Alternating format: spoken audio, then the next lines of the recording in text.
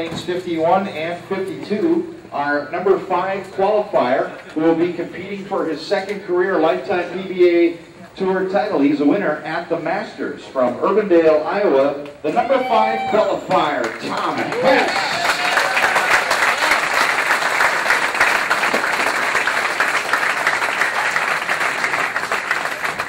His opponent in the opening match is looking for his first PBA Tour title. He represents Canada. Dan, the man, MacLelland.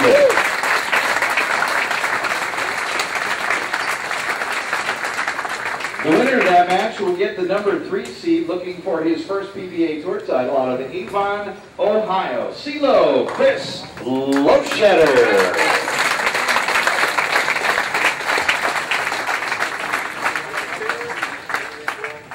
Awaiting in the semifinal match will be the number two seed from Double Oak, Texas. Looking for his 15th career PBA Tour title, Chris Barnes.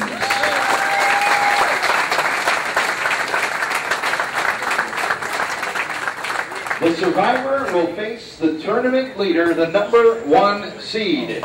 From Orange, New South Wales, Australia, looking for his sixth PBA Tour title. Jason Storm, baby.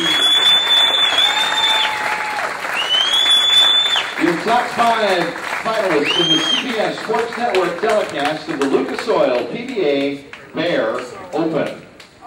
Feels fantastic. The uh, to cap the summer swing off with a with a really great performance on the toughest pattern of them all. It's very rewarding. I'm really happy with my performance.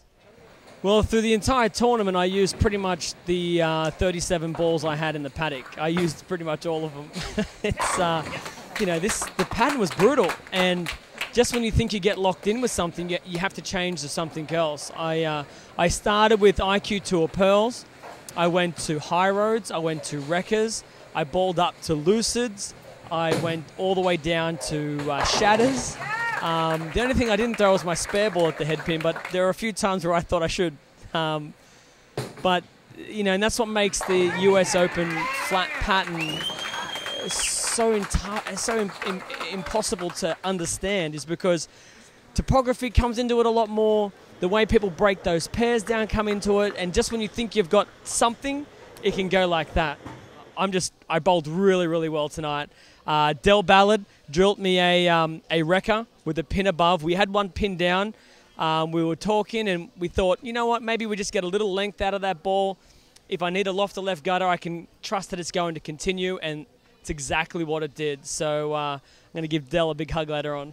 I, I obviously this had helped to win Player of the Year, um, but the season is so long because the the World Series of bowling is still attached to the end of this season. So there's so much more bowling left to do before I start to even think about the Player of the Year. But if I win this one and I do well at the uh, the U.S. Open and the World Series, I'm going to be pretty pretty tough to beat for that uh, Player of the Year.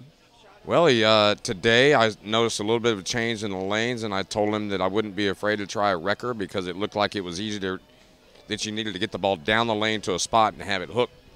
And all week we've been going with smooth, smoother continuation, smoother continuation. And this morning just looked like they were crispy, a lot more crispy, and all the earlier rolling balls and smoother were actually too smooth when we got it to the right and too early when we got it in. So I just said, don't be afraid to go to something longer and, and try to bounce it off the spot. And I didn't know if he heard me or not, but he switched to a wrecker and just bombed him. And then we drilled him a pin-up wrecker for the night, and he just smoked him with it. The, the, the issue is they're using two lane machines, one for the left lane, one for the right lane. And the left lanes are hooking, I mean, almost where you need to use two different balls, one for each lane. I mean, it's, it's that drastic. Yesterday, there were a little bit, you know, a couple of the players are saying there's a couple boards, but today it seemed like every time they strip and oiled, it just got worse and worse and worse. So to me, you know, they were brutal, not only pair to pair, but lane to lane.